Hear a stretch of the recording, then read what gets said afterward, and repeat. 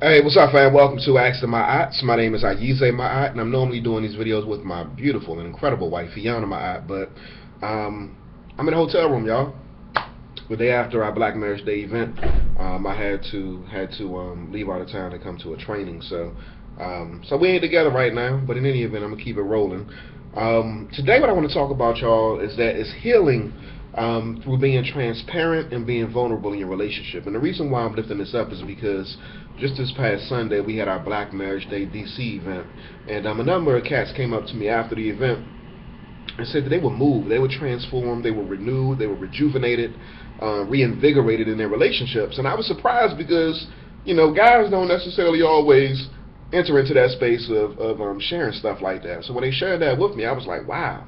Um, and what they spoke specifically to was the fact that they were moved by seeing other men being vulnerable and being transparent about their experiences in their relationship with their woman and um, in their relationships when they were growing up, specifically with their parents.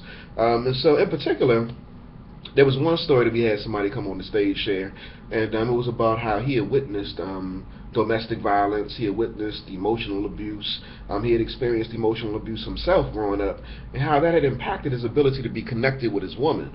How do you identify yourself as a man? How do you deal with conflict? How do you effectively communicate with your partner in relationship when the people who um, that you were raised by had difficulty um, working things out in their relationship, and you witness violence as the um, as the resource or the tool they use to try to resolve their issues.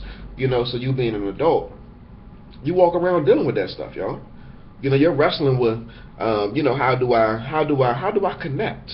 How do I enter into a space of intimacy? What does vulnerability look like? But I salute and I applaud that brother for for being willing to um, stand in front of 240 people and tell his story, to be honest, to be transparent, and um, and to tell his truth. He owned it and he shared it, and it healed some dudes who was in the audience. And so I applaud him for being able to do that. And we also had a guy come up um, who was talking about how after being in a happy marriage, um, money coming in good, you know, you're connected with your woman, you got your family, and you discover just through flipping through some pictures on MySpace that you see a child who looks like you.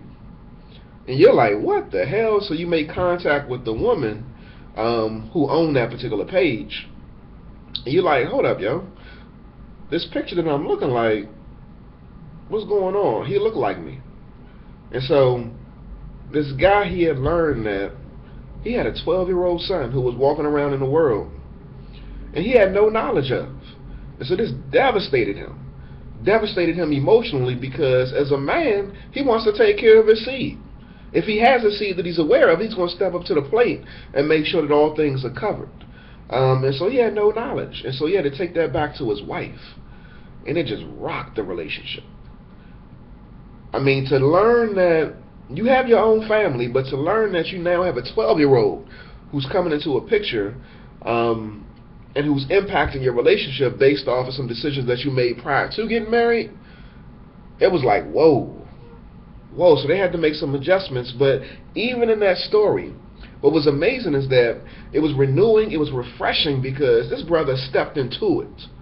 He stepped into it and he took ownership of the fact that this is my child, which was the right thing to do. But he got advice from other men saying that don't do it, don't call her, don't say nothing about it, all is good, life is well, go on about your business. But nah, bruh. He was a man. He was a man and he stepped into the situation. He made the phone call. He took ownership of the fact that this is my child. I can't turn my back on my child. I ain't a man if I turn my back on my child. What kind of man am I if I decide to do so? And so his wife said to him, I wouldn't be with him if he had done so. Because my father walked out on me. And so how can I be with a man who's going to turn his back on his child? If my father walked out on me and I know what the pain of that feels like. She said, I love him because he stepped towards that situation.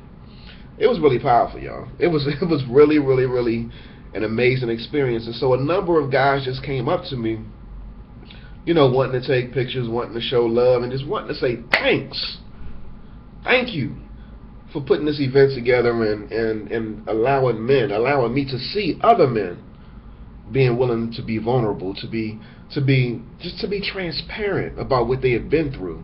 And that was definitely a healing experience for me. So at the beginning of the event, I'm gonna wrap it up, y'all. At the beginning of the event, I was actually astounded by the number of males that I saw in the audience. The number of men I saw in the audience was amazing. So I had um, all the men stand up, and all you did was hear claps.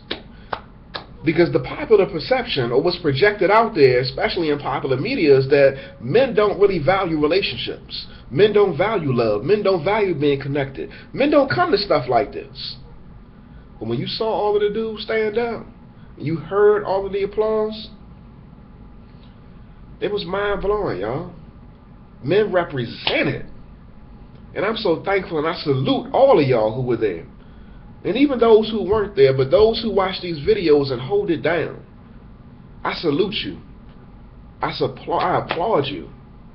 And y'all, for those of you who struggle with this whole transparency piece, this whole vulnerability piece, it's not something that you conquer overnight. It's not something that you probably actually even you have to go through it on an ongoing basis.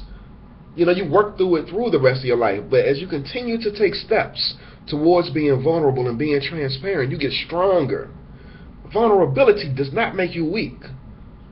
It makes you strong. So as always, y'all, I'm encouraging you to continue to step towards that space of vulnerability and transparency. But in order to do that, you got to make it a point to stop playing and start pushing.